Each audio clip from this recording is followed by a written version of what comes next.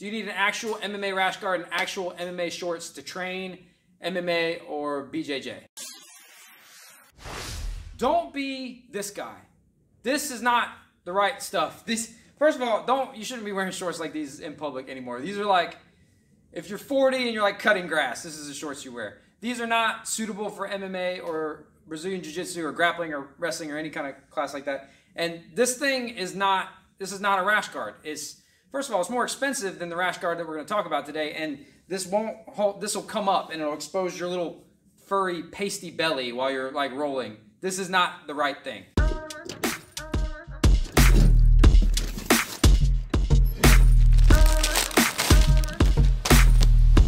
Let's see what we got. I have children here, and there's these little balls of poison falling out of your packaging.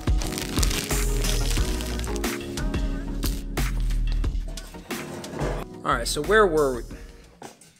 Full disclaimer before we get started, Elite Sports sent us the Rash Guard and shorts for free, but we're gonna do a complete unbiased review. Rash Guard has a like a thicker ridge at the bottom. That's interesting. I wonder if that will help it stay in place. This logo is like embroidered. Uh, this stuff is significantly more substantial, like more thicker. I've, I've dealt with like bargain style equipment before and it was always really thin and shitty. Initial impression, besides the issue with the desiccant, which we can get past that unless one of the kids, you know, eats it and dies or something, in which case I'm gonna need like some gloves or some shin guards too. The stuff is better than I expected it to be based on the prices on their website.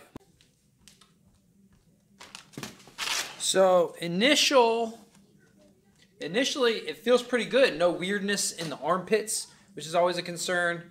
No weirdness on the neck. Sometimes if they fit too good in one area, they don't fit well enough in the other. I'm wearing a small in both, and the shorts are uh, actually a, a little snug. Maybe they run like a little bit small. Uh, they still fit me. The drawstring is actually pretty interesting. It's a big, thick, kind of a higher quality affair than like a than like typically like a shoelace. It's like a thick, round thing. But I don't I don't ever need the drawstring. We got a mouth guard pocket, which I don't I don't ever use that. So in case you didn't know, here's how our gear reviews work. I don't do a full review until I've really used the thing. So what that means is I'm gonna spar in it, I'm gonna roll in it, I'm gonna do some weight training and circuit training in it, take it through the wash a few times, and then give you a complete review.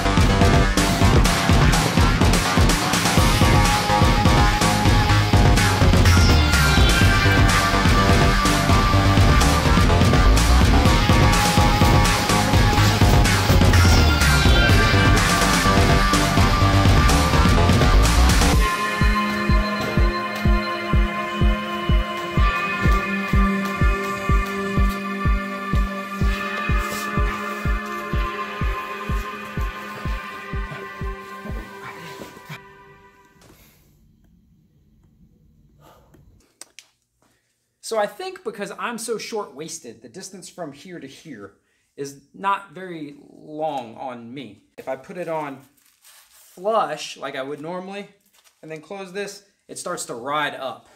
And this, this hasn't been cool in a few years, this look. I'm gonna try out a medium, but I'm not stupid. The fit on these is way roomier than the small. So if you're in between sizes, I would go up one, uh, just to guess. I'm at the very top end of small and I'm on the, the bottom end of medium. So I like this medium better. A lot of companies send me rash guards and this one is pretty much just as good with one thing that it does better. Uh, remember your pasty little flabby hairy belly that you don't want showing? Yeah, these don't do that. These have this like rim in here the bottom hem of them, much thicker than the bottom of any other rash guard. And this thing stays in place. When you, you pull it down, you can feel it grabbing a hold of you. Final thoughts um, for the price, and I'll put links down below where you can check it out. This is an awesome setup. If you are looking for an inexpensive option, maybe you're just starting out, you don't want to spend a ton of money on something that's essentially a hobby. Also, if you haven't seen it before, I've got my whole sparring set up. My complete uh, sparring, MMA, kickboxing sparring gear, a lot of it budget friendly. I've put the shorts and the rash guard through a ton of washes. Uh, obviously, you don't dry them, and they're holding up pretty good. I haven't had a ton of issues with threads or pilling, no more than anything else. You know, if you leave Velcro exposed, it'll grab it, that sort of thing. Yes, you absolutely need actual MMA shorts with no pockets, no buttons, no zippers, and a proper rash guard if you're going to be sparring or rolling with anyone. If you want more fitness tips, self defense techniques, gear reviews, as well as concepts and principles that make you hard to hurt, make sure you click that subscribe button and uh, check out these videos over here for some more gear reviews.